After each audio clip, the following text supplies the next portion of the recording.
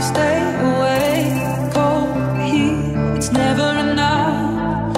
Cooling down till we're done for.